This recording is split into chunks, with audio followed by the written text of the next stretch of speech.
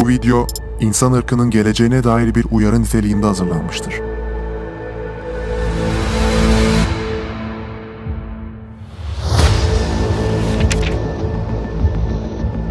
Ne kadar farkındasınız bilmiyorum fakat daha bundan birkaç gün önce insanlık tarihini yepyeni bir döneme sokan, heyecan verici, bir o kadar da ürkütücü bir teknolojik gelişmeye imza attı bilim insanları. Yıllardır bilim kurgu filmlerinde izlediğimiz ve gerçek olması imkansız diye düşündüğümüz günler yaklaşıyor. Bu yeni gelişmenin sağlık üzerindeki büyük öneminin yanı sıra sosyal hayatımızdaki yapacağı değişiklikler nefes kesici. Mesela sevgilinizden ayrıldınız, unutamıyor musunuz? Artık tek bir tuşa basarak onu hafızanızdan tamamen silebileceksiniz.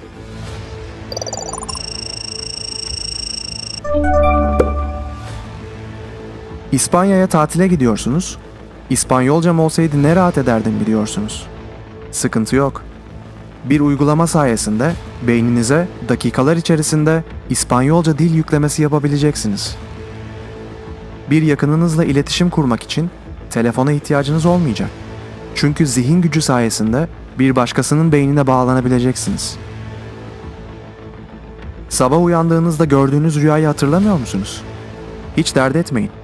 Çünkü beyninize takılan çip gece boyunca gördüğünüz rüyaları kaydetti. Tek yapmanız gereken uygulamadan rüyanızı açıp film izler gibi izlemek. Kulağa harika ama imkansız gibi mi geliyor? Fakat anlattıklarım doğru. Bu teknolojinin en önemli aşamasını geçmiş bulunuyoruz. Fakat zafer çığlığı atmadan önce sormamız gereken soru belki de şu. Yaratılışımız gereği böyle bir müdahaleye hazır mıyız?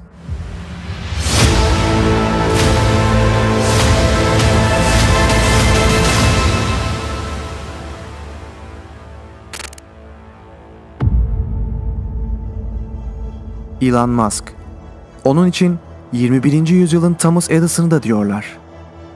Dünyanın en zengin üçüncü kişisi. Yaptığı çılgın bilimsel çalışmalarla adını sıkça duyuyoruz.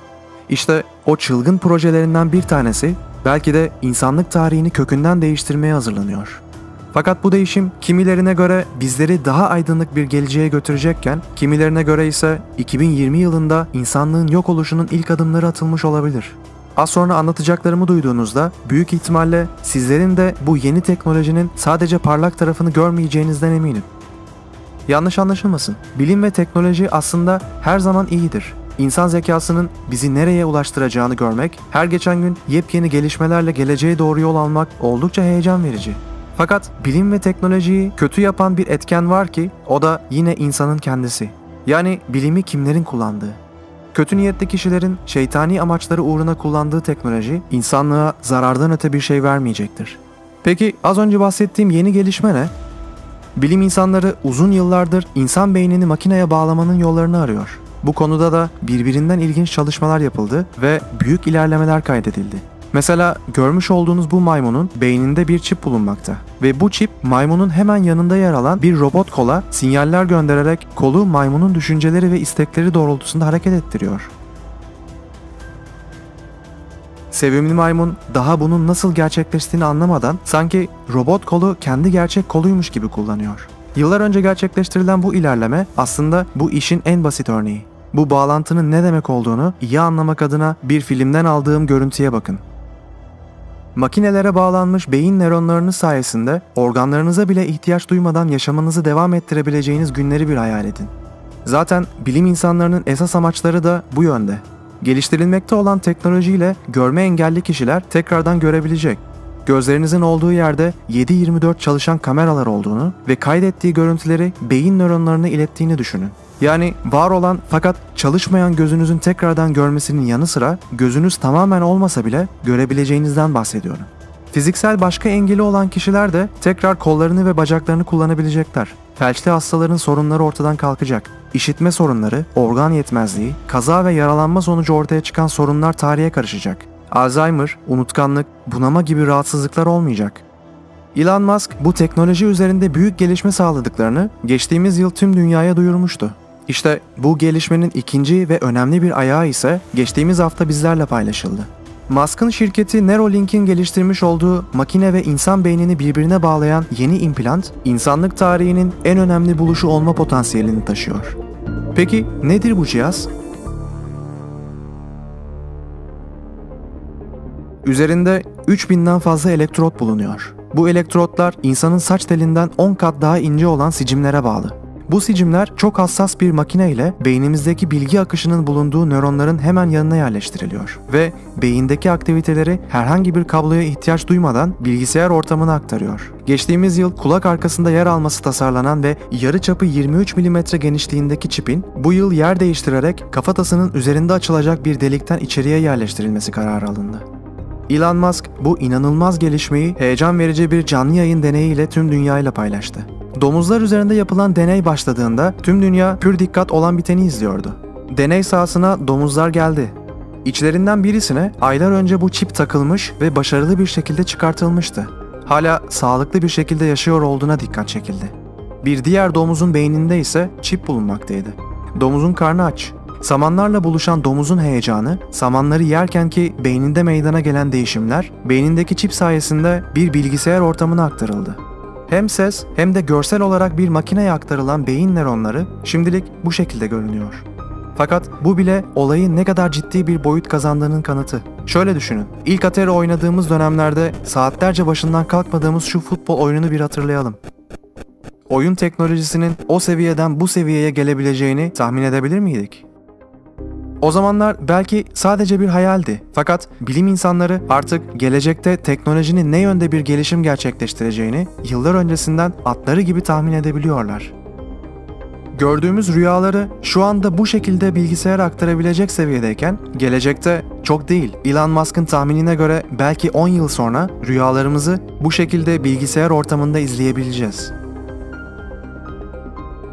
Beyninizde bir çip bulunduğunu ve gün içindeki tüm aktivitelerinizi kaydettiğini hayal edin. İş yerinizde geçirdiğiniz saatleri, bindiğiniz aracı, girdiğiniz marketi, kimlerle karşılaştığınız her şeyi kaydettiğini düşünün. Birliktelik yaşadığınız kişinin arkasından iş çevirmeyi hayal bile etmeyin. Tak bakalım şu beynini TV'ye, dün gece ne haltlar yedin diye soran eşinizden kaçamayacaksınız. Bu konuda size rehber olabilecek, mutlaka izlemeniz gerektiğini düşündüğüm bir film de önereyim yeri gelmişken. Black Mirror'ın 1. sezon 3. bölümünü yani Senin Tüm Geçmişin isimli bölümünü izlemenizi şiddetle tavsiye ediyorum. Bir alışveriş merkezine veya önemli bir binaya girerken üstünüzün aranmasından ziyade beyninizin aranmasından sosyal ilişkilerinizde yaşayabileceğiniz problemlere kadar birçok karşılaşabileceğiniz sorunu oldukça profesyonelce izleyiciyle buluşturmuşlar. Okulların tamamen tarih olduğunu düşünün. Çünkü belki 5 yılda öğrendiğiniz bilgileri bir bilgisayar programı yükler gibi beyninize yükleyebilme ihtimalinizden bahsediyor bilim insanları. Geliştirilmekte olan bu teknoloji sayesinde şu anki insan zeka seviyesi oldukça yukarılara çıkartılacak. Bir nevi süper insanlara dönüşmek. Beyin çipini yakın zamanda insanlar üzerinde de deneme çalışmalarına başlayacaklarını duyurdu Elon Musk. Hatta kim bilir belki benim kafatasımda da şu anda bir tane vardır diye de ufak bir espri de yapmaktan geri kalmadı. Başta da söylediğim gibi bilim insanları bu teknolojiyi en başta sağlık hizmetlerinde kullanmak amacıyla geliştiriyorlar. Bu noktada kendimize sormamız gereken soru şu olmalı diye düşünüyorum. Bu çipleri sadece ihtiyacı olan engeli bulunan kişiler mi kullanacak? İçinde bulunduğumuz yüzyılda karşılaştığımız bu ilk pandemide vücudumuza takılacak olan çipler gündeme gelmişti ve bunun tüm dünya insanının sağlığı için olması gerektiği savunuluyordu. Beyin çiplerinin yani bu teknolojiyi üreten şirketlerin, bilim insanlarının tamamen iyi niyetli ve insanlığın yararına çalıştıklarını ve bu yüzden de bir nedenden ötürü gelecekte sadece engelli kişilere değil bu çipleri tüm insanlara taktıklarını düşünerek bazı senaryolar getirelim aklımıza. Beynimizdeki çipin üretim firması tamamen masum ve hayat gelişmiş teknolojinin getirdiği kolaylıklarla daha da yaşanılabilir hale gelmiş durumda. Peki her türlü bilgisayar programına sızmayı başarabilen, en güçlü güvenlik ağlarına bile girmeyi becerebilen hackerlar ne olacak? Ben birkaç senaryo söyleyeyim sizlere. Sizler de kendi senaryolarınızı yorumlarda mutlaka belirtin ki hep birlikte geleceği daha iyi analiz etmiş olalım. Diyelim ki Neuralink'ten bahsetmiyorum bir başka X çip firmasının çalıştığı bir ülke var. Mesela Türkiye.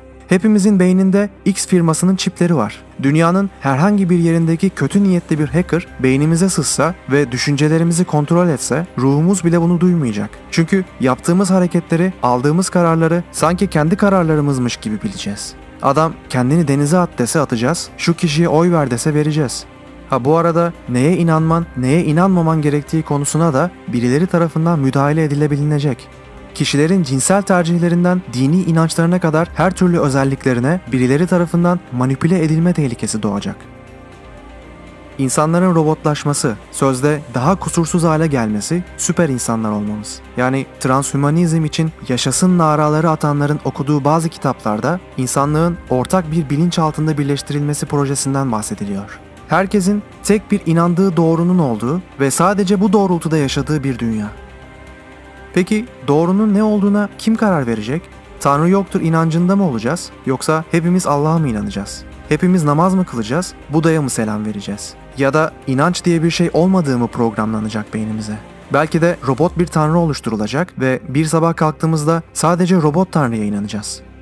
İçinizden bazı izleyicilerimin inanmayı ver Tanrı'ya, bir yaratıcı olması şart mı diye düşünenleriniz olduğunu biliyorum. Neye inanıp neye inanmadığımız sadece kişinin kendisini ilgilendirir. Videolarımı hazırlarken de herkesin inancına saygı duyarak hazırladığımı beni takip edenler bilir zaten. Ama kimseye zorla bir şeyi inandırmaya çalışmanız son derece yanlış. Beynimiz belki de kainattaki en olağanüstü şey. Böylesine bir müdahaleyi ne sen, ne o, ne de ben hak etmem.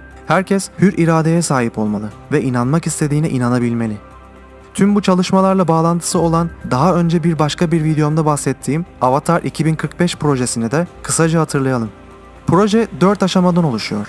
Projenin ilk aşaması olan Avatar A'da 2020 yılına kadar beyin aktivitelerimizin elektronik bir ortamda görüntülenebilmesi hedefleniyordu. Bu gerçekleşti. Sonraki aşama ise 2025 yılına kadar gerçekleşmesi öngörülen Avatar B. Hayatını kaybeden bir kişinin beyninin bir robotun içine yerleştirilmesi. Beynin yaşamını sürdürebilmesi için tüm hayati fonksiyonları bağlı olduğu robot beden karşılayacak. Projenin üçüncü aşaması Avatar C'nin ise 2035 yılına kadar gerçekleşeceği düşünülüyor. Bu aşamada beynimizdeki tüm fonksiyonların, duygularımızın, anılarımızın, irademizin gerçek biyolojik beynimizden yapay robot bir beyne aktarılması. Bunu gerçekleştirebildikleri takdirde projenin final kısmına, 2045'e kadar olacağı tahmin edilen kısmına geliyoruz. Artık tüm anılarınız, duygularınız yapay bir beyin içerisinde yaşamaya devam ediyor. Bu da demek oluyor ki insan ölümsüzlüğe ulaşacak. Onların düşüncesine göre. Benim inancıma göre her canlı ölümü tadacaktır. Neuralink'in insanı heyecanlandıran bir gelişme olmasının yanı sıra ürkütücü olduğunu da inkar edemezsiniz. Fakat şu anda hepimizin beyninde Neuralink bulunsaydı sizlerin videoyu beğenmek veya abone olmak için ekstra işlemler yaparak herhangi bir tuşa basmanız gerekmeyecekti. Fakat henüz bu teknoloji kapımıza gelmedi. Bekleyip görelim. İnsanlığı nasıl bir dünya bekliyor? Tüm bunları düşündüğünüzde sizce gelecekte süper insanlar mı olacağız? Yoksa hacklenebilir köleler mi?